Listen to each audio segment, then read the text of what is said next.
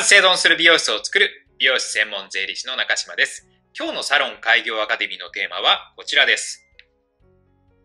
中小企業事業展開支援補助金ということで、補助金の情報についてご紹介をさせていただきます。ただ、こちらの補助金がですね、名古屋市限定という形になっていますので、こう名古屋市の方以外はちょっと使えないと情報になってしまいますので、えその点だけご承知、ご了承いただきたいと思います。えそれでは内容の方に早速入っていくんですけれども、えこちらの補助金ですね、え9月の1日から10月の14日が申請期間になっておるんですが、もう情報の方はですね、今8月の16中旬なんですけれども、名古屋市のホームページの方にはもう情報としては出ていますが、補助金というのはですね、いろんな問い合わせが来て、それに対してアンサーすることで、こうだんだんだんだんこう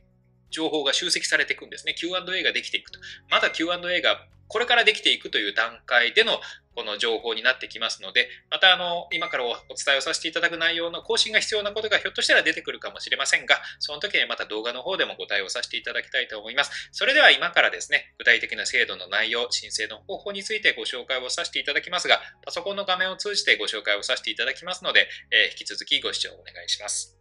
はい、えー、それではですね、早速内容の方に入っていきます。えー、名古屋市の事業者限定最大30万円事業展開支援補助金と、正式名称は中小企業事業展開支援補助金という名称になっています。まあ、ざっくりまずこの制度どんなものなのかっていうのをお話しすると、名古屋市内で2期以上の確定申告をしている事業者、ここでいう事業者というのは法人や個人事業主のことを言います。こういった事業者が、ここが重要なんですが、新たな事業分野への進出や、事業の拡大のための設備、機器の購入を、に際して、最大30万円の補助金を支給しますよという、制度になっています。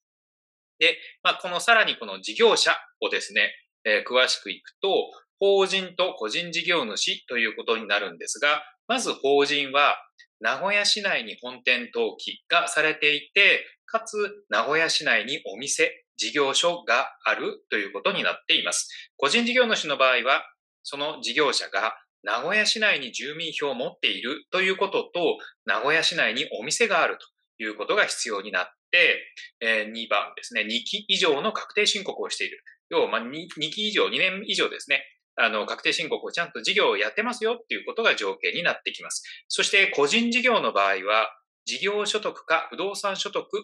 の収入がある人に限るということになっています。そして、えー、市税の滞納がない、まあ、あの、補助金なのでね、税金を納めていないと、えー、補助金が受けられないよっていう条件があります。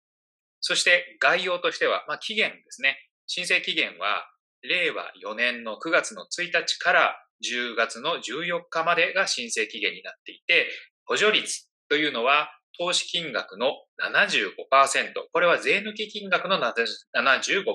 になっています。いわゆる4分の3ですね。えー、そして補助上限額は上限30万円というふうになっています。最低10万円になっていますので、10万円以下の申請は補助金が受けられないということになっています。補助率が4分の3、75%ということなので、税抜きで40万円以上の投資をすると、30万円が最大受けられるということになっています。で、対象となる事業経費なんですけれども、まず1番は、補助対象事業のための経費。まあ、この補助対象事業っていうのは何なのかっていうのはまた後ほどお話をしますが、補助対象事業のための経費で、令和4年の8月15日以降に契約及び購入したもの。この8月15日以前に契約しちゃっているもの、もう買ってしまっているものは対象にならないということがポイントになります。そして買ったものは名古屋市内のお店に設置してくださいねということ。そして、令和4年の11月の30日までには買ったものが納入されている、え支払いが完了しているということが条件になってきます。補助金はですね、いつ買ったものなのか、いつ支払いが終えたものなのか、いつ納品がされたものなのかっていうことを明確にしておかないと、え受給ができなかったりしますので、こういった期限についてはしっかりと、え確認をしてください。で、この補助金ですね、一番のポイントは、新たな事業分野への進出または事業の拡大のための設備の導入だということが、えポイントになってきます。ただただですね、あの、パソコン買うから補助金もらえるかなとか、そういうものじゃないということなんです。何のためにその設備投資をするのかっていうことが非常に重要になってきます。えこのポイントについて詳しく、えご紹介をしていきます。まず一つ目ですね。新たな事業分野への進出。えこれに関しては、こんなような絵があるんですが、まだ取り組んでいない、現在は取り組んでいない事業に今から進出しますよというものが、これが新たな事業分野の進出に該当します。えこのグラフ、図ですね、図の中に、もう今すでに事業をやってますよと。まあ、例えば美容室という事業をやっていますよと。で、今から美容室以外の新たな事業分野へを、事業分野に進出しようということに対して設備投資をする。こういった場合に補助金の対象になるよということになっています。これが新たな事業分野への進出のイメージ図ですね。で、ポイントがですね、この現在取り組んでいる事業分野以外でこの補助金よく出てくるんですけれども、日本標準産業分類分類の小分類が異なるっていうキーワードが出てくるんですね。これ何なのかというとですね、例えば美容業とか税理士業とか、えー、日本、日本産業分類上の小分類だといくら何っていうふうにこう決まっているわけなんですね。この小分類が違うものに該当する場合が、この新たな事業分野に該当すると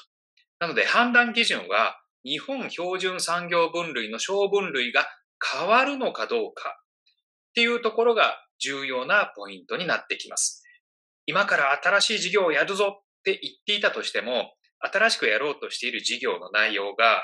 この事業分野がですね、小分類って言うんですけれども、小分類が実は今やっているものと同じ分類のものにだと、この新たな事業分野への進出っていうものには該当しないということになるんですね。だから、今からやろうとしている事業が、この今やっている主として取り組んでいる事業の小分類と違うのかどうかっていうことが非常に重要なポイントになってくるということになります。大切なことは、小分類が違う新たな事業分野への進出なのかということ、今の事業の売り上げを伸ばすためのものは対象にはなりませんよということになっています。あくまでも今から小分類には違う新たな事業をやっていくぞとで、その事業が売り上げが伸びるということがポイントになってくるということになります。そしてもう一つですね、事業の拡大。これをですね、すでに取り組んでいる事業分野を拡大するというものに該当します。ただし、例えば、このグラフ、この絵にありますように、主たる事業分野以外にもうすでに、B 以外の事業分野ですね。例えばここが美容業であれば、美容業以外のものにすでに取り組んでいて、この新たな設備投資をすることによって、美容業以外の事業分野の売り上げを伸ばしていこうというものに該当するときは、こちらになると。すでにやっている事業分野、美容業の売り上げの、例えばそれが美容業であれば、美容業の売り上げの10%未満がすでにやっているまあ、美容業以外の事業分野の売り上げであったとしたら、これをさらに伸ばすんだというものに対する投資は認められるということになります。認められるというか、これは事業の拡大に分類されるということになっています。で、こちらはですね、主たる事業分野と産業分類の小分類が異なり、直近で主たる事業売上の10%未満の事業分野の拡大を行う事業、なんだかよくわかりにくいかもしれないんですが、まあ、あえて言うとですね、美容業をやっていますよと。で、美容業をやってるんだけれども、エステもやっている。で、このエステの売り上げは、まだ美容業の売り上げの10%にも満たない。まだ5%ぐらいだと。で、このエステをさらに投資をして事業を拡大していこうということになると、今の売り上げの10%未満であれば、え認められるわけなんですよね。で、このエステの事業を伸ばしていこうという場合の設備投資は、この事業の拡大に該当しますよということになります。ポイントは、すでに実施している小分類が違う事業であること、そして主たる事業売上の10%未満の事業である。これを今から拡大していく場合は、この事業の拡大に該当していきます。で、この何度も出てくるんですが、小分類が異なるっていうことがポイントなんですね。で、まあ今私がやってる事業は何なの？えー、そしてこれからやろうとしている事業は何なの？多分ここが、え引っかかってくる、よくわからないというポイントになってくると思います。えー、これに関してはですね、この名古屋市のホームページの方で、えー、事業分類についての質問に、ま、メールというかサイトでですね、え答えてくれるようになっていますので、わからない場合はそこで確認をされてから、えこれが本当に小分類が異なるのか、異なるのかどうかっていうのを確認をしていただくといいんではないかなと思います。で、一例なんですけれども、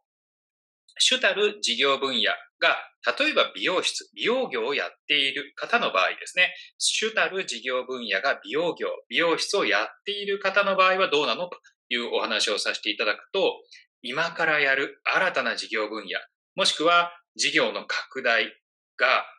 例えば美容脱毛をやっていこう、もしくはエステをやっていこう、ネイルをやっていこうとした場合、これは美容脱毛、エステ、ネイルというのはえー、小分類上はですね、美容業ではなくて、その他の選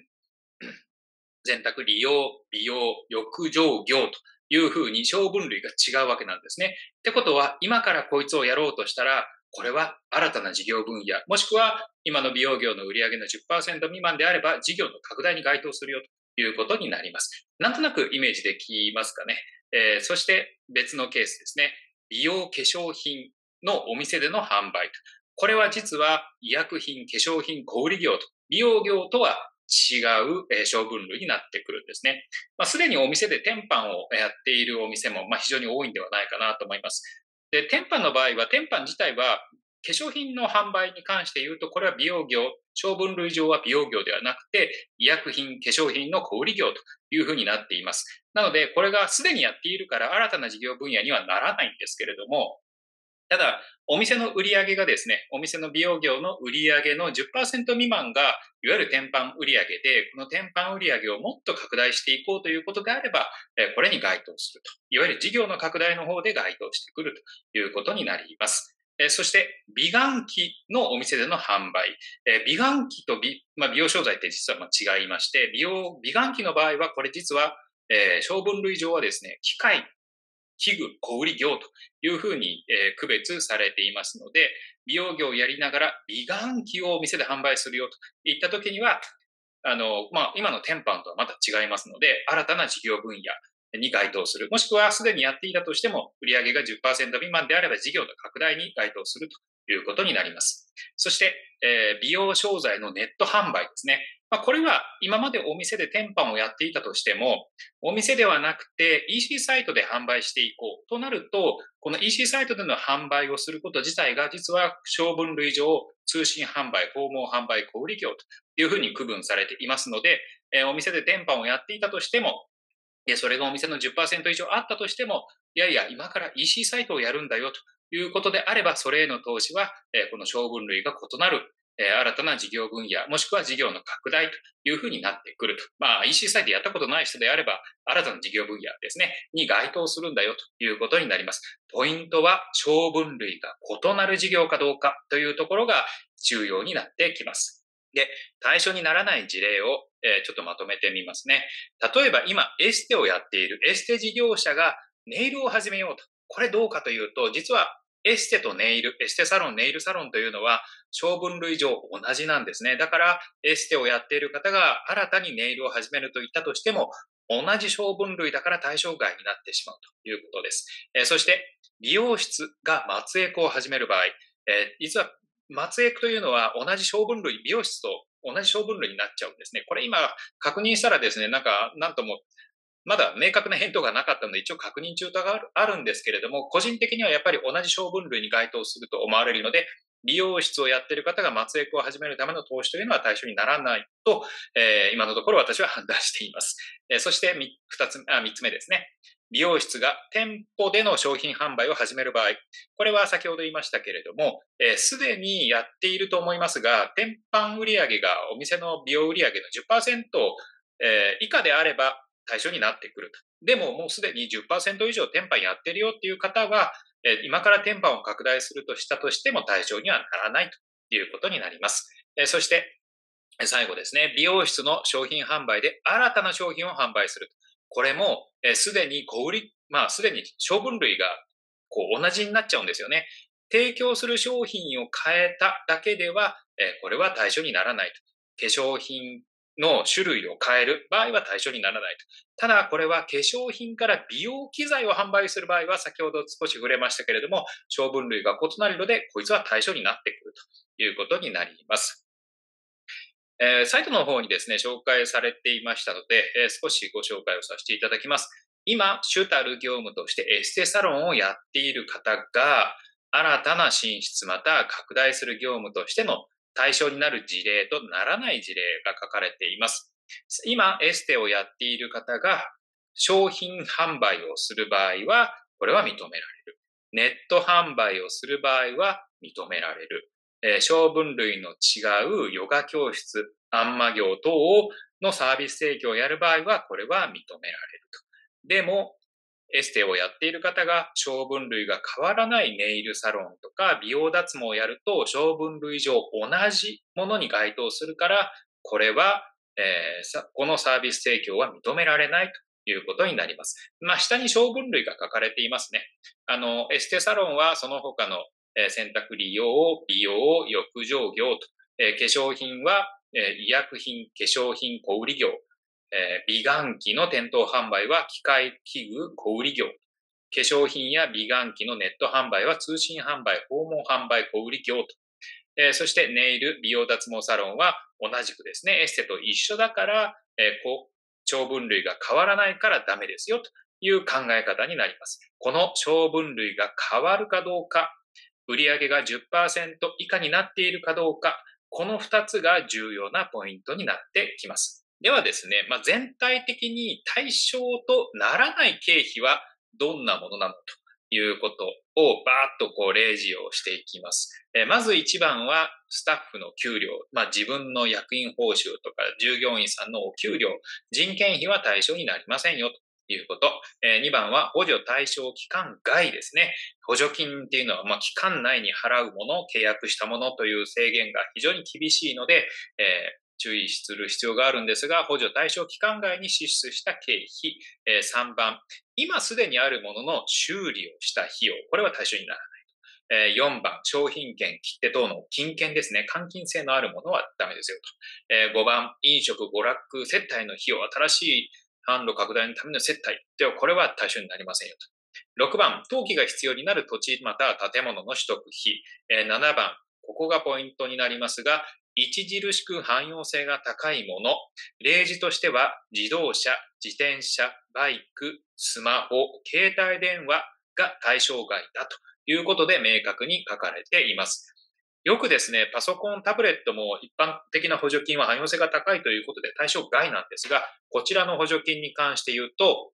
パソコン、タブレットは OK ですよというふうに書かれています。そして8番、えー、古物商以外で購入した中古品。中古品が一切ダメということではなくて、古物商をちゃんと持っている人から購入したものであれば中古品でもいいよと。でもそれ以外の中古はダメですよと。そしてオークションで購入したものもダメですよというふうに書かれています。えー、9番、自転車自動車。これちょっと先ほどと重複になっちゃいますね。えー、10番、原材料の仕入れはダメですよと。え消耗品の購入はいいんですけれども、材料の仕入れは対象外だと。えそして11番、店舗、家賃、賃料。これは対象になりませんよと。で、一応ですね、こういったものが対象にならないというふうなんですけれども、審査をして、審査の結果、交付が受けられないということはもちろんありますので、ここに書かれているものでも対象にならない支払いも出てくる可能性は十分あるということは知っておいてください。そして、え申請から交付までの流れですね。まずは9月の1日から10月の14日まで、え申請の受付をしていますと。で、この申請を出したら審査ですね。交付が受けられるのか、受けられないのか、交付決定の通知が来るのか、不交付決定の通知が来るのか。で、この後ですね、交付決定の通知が来たよと言ったと、言ったら、その後実績報告書兼交付請求書を提出する。これは12月の28日までに提出をするとで、この時には購入したら必ず写真を撮影してくださいというふうに書かれていますので、えー、申請、実際の申請の時にはちゃんと納品されたものの写真ですね、えー、撮影が必要ですよということを知っておいてください。そしてまた審査があって、金額が確定して最終的に補助金が受けられるという流れになっています。補助金というのは実際にお金を受け取るまで結構時間がかかるので、この補助金を当てにして資金繰りを考えていくのは、そもそも補助金はやめておいた方がいいでしょう。そして、提出に必要となる資料、どんなものがあるのかというと、まず1番は、中小企業事業展開支援補助金の交付申請書というものを作成します。そして2番、事業計画書、様式2の1、様式2の2の2種類があります。そして3番、誓約書ですね。そして4番、ここからは添付資料になってきます。法人の場合は、法人税の申告書別表1という紙があります。これの直近2記分、個人事業主の場合は、確定申告書 B 第1票の直近2記分と。そして法人は、履歴事項全部証明書。個人事業の場合は、運転免許証、マイナンバーカードですね。本人確認の取れる書類と。そして6番として、設備機器等のにかかる購入金額がわかるものの写し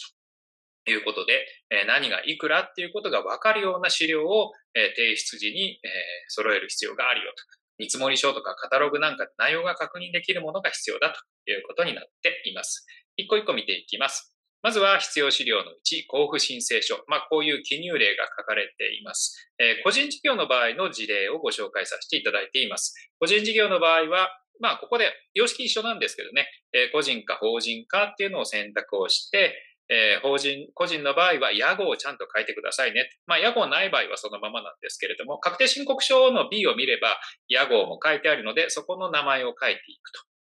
ということですね。そして、えー、本店所在地個人事業主の場合はですね、本人確認書類の住所を書いてくださいということになっています。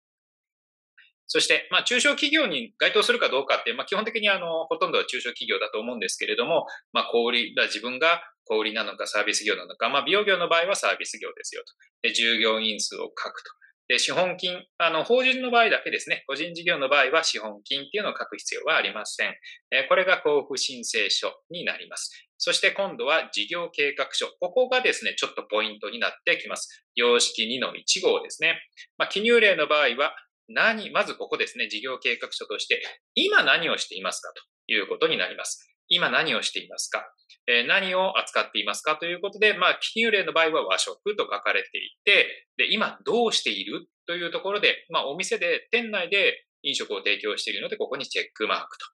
で、主たる事業分野の直近決算時の売上。だから直近だから去年の確定申告書、直近の確定し、まあ、法人の申告書でいいと思います。そこに含まれる主たる事業分野の直近売上を書いてくださいね。まあ、これが税込みなのか税抜きなのかっていうのを区別して。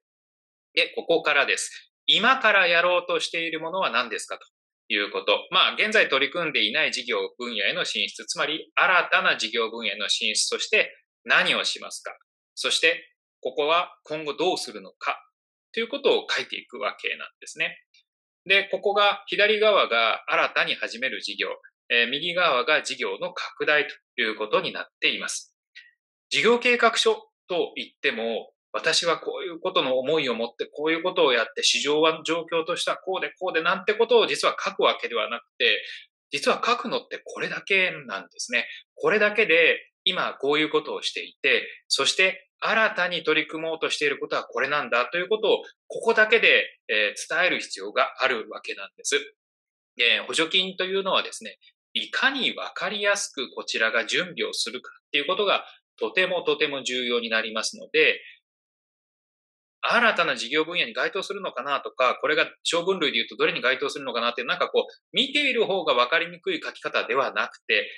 明らかに小分類違うよねと。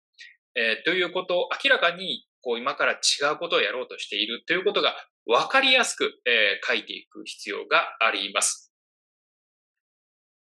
なので、ここの書き方は結構重要になってくるかなと思います。まあ、記入例の場合はですね、和食をやっている人が、今度は、えー、惣菜ですね。惣菜を今まで店内で飲食提供していたものが他社に卸すと。これ、和食で、例えば、えー、まあ、蕎麦とかうどんとか販売を、店内で飲食していたものを、今度は惣菜を店内で提供しようとなると、これ対象にならないんですよね。同じ小分類になって、でも他社へ下ろすとなると小分類が異なるということになるので、え対象になってきますよと。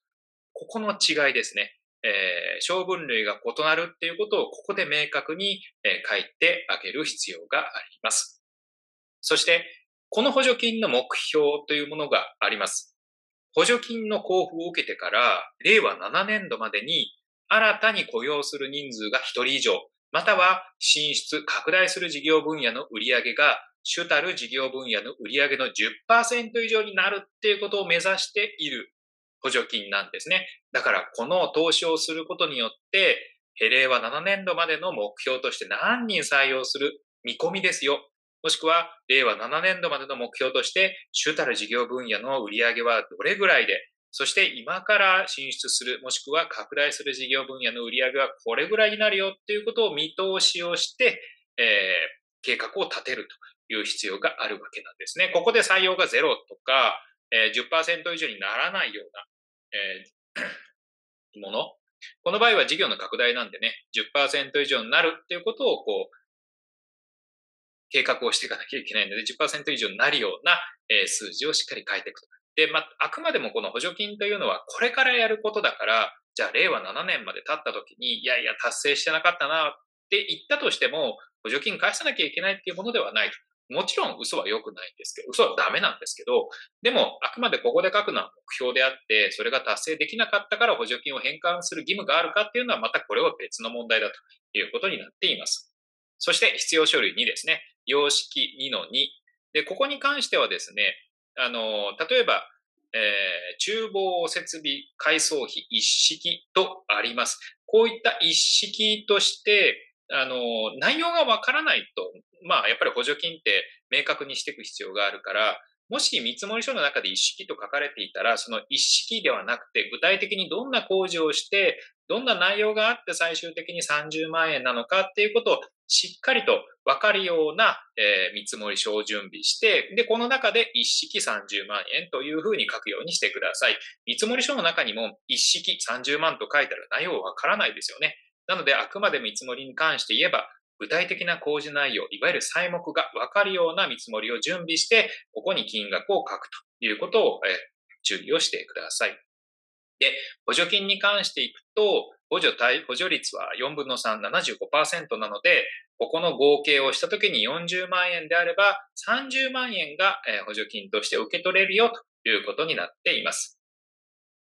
そして誓約書をつけることになっています。申請日を書いて、補助法人の場合は上に書いて、個人事業主の場合は下に書くとということになっています。あとは添付資料をつけるということになっています。で、申請方法は、やり方としては2つあります。ウェブサイト。まだですね、あの、9月1日以降にならないと申請はできないんですけれども、ウェブサイトから、えー、オンライン上で申請必要事項を入力して添付資料をアップロードするというやり方が一つ。もう一つは郵送で申請をする。もうすでにあの、申し込みの用紙はですね、ダウンロードをする。まあ、あの、各役所に行くとこういうパフレット、リフレットを配っていますので、この中にあの、資料がもうダウンロードと同じ内容の資料があるので、あの、こういうパンフレットをもらってきて書いてもいいかなと思いますが、ダウンロード、リフレットをもらいに行くか、ダウンロードをした様式に記入をして、添付資料と合わせて郵送をする、この2つの、提出申請方法があります。そして、まあ、これ一応書いてあったんですけどね、あの予約制でどうしても書き方を相談しながらやりたいという方は、予約制になっていて、窓口での書き方の指導ができるというふうに書かれています。ただまあなかなかね、混雑することも想定されるので、あの、相当余裕を持って、え予約をする必要があるんじゃないかなと思います。で、ただ、あの、そこで書いたとしても、申請書の提出はできない。あくまでも書き方の指導だけですよということになっています。で、えー、補助金のお問い合わせ先ですね。えー、こちらの補助金の中小企業事業展開支援補助金に関しては、名古屋市産業振興公社が取り扱っています。コールセンターは052-228-7007平日の9時から午後5時まで対応しているということになっています。今回ですね、中小企業事業展開支援補助金の実際のこう申請であったり、まあ、ざっくりとした内容になってくると思うんですけど、実際申請される場合はですね、あの、かなり、まあ、冊子か、名古屋市のウェブを見ていただいて、で、細かい要件とか書かれています。今日私はですね、動画でざっとこうお話はさせていただいたんですが、とてもとても全ての要件を網羅することはできないので、大枠としてのお話はさせていただいたんですけれども、補助金の申請に関しては必ず、えー、細かな要件を必ず確認をするということをしていただく必要があります。で、具体的にはですね、あの、名古屋市のこのホームページがありますので、そのホームページのところを、えー、見ていただく必要があります。えー、こちらのウェブサイトになります。まあ、今日の時点ではまだですね、あの、8月中旬なので、えー、9月1日支援受付開始というふうに書かれていますが、この中でですね、制度の概要、まあ、今日お話しさせていただいた制度の概要であったり、このどんなものが対象になるのかということもあの書かれていますので、えーまあ、ここを必ず見ていただきたいなということと、この補助対象経費、どんなものが対象になるのか、どんなものがならないのか、で、細かくですね、あの、申請方法であったり、あの、注意事項っていうことも書かれていますので、必ずこちらを確認をして、ご自身で申請をしていただくということをお願いします。はい。ということで、えー、今日はですね、中小企業事業展開支援補助金、え、について、まあ、名古屋市限定なんですが、えーなまあ、かなり限定的なんですよね。こういった地域の補助金というのはですね、各地域ごとにあって、えー、なかなか情報が行き渡りにくいと。えー、こんな自分のところでもあるかもしれないということで、え、名古屋市以外の方は本当に申し訳ないんですけれども、あの、各市町村でですね、こういう補助金がないか、もしくは商工会議所でこういう補助金がないか、っていうのを確認をしていただくといいんではないかなと思います。なかなか国の補助金は情報が全体的にわっと出るんですが、えー、県単位、市町村単位というのはなかなか情報が出にくいので、えー、まあ、ちょっと情報をですね、取りに行くということが必要かなと思います。ということで、えー、今日の動画はですね、中小企業で事業展開支援補助金について、えー、ご紹介をさせていただきました。えー、ご視聴ありがとうございました。